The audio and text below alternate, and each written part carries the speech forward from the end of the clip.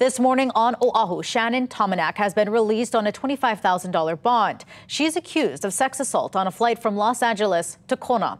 Tomanek made her first appearance in federal court Thursday and pleaded not guilty. Court documents say she was on a Delta flight in 2019 when she touched a man's behind and genitalia. Court documents also say she hit the man who is being named John Doe. Tomanek is also charged with interfering with flight crew members and attendants.